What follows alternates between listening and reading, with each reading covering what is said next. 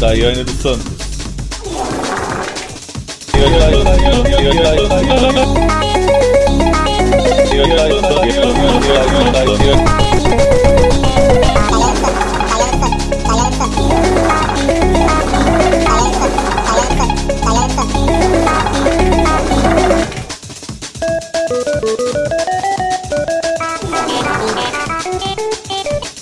Tight up, tight up, tight up.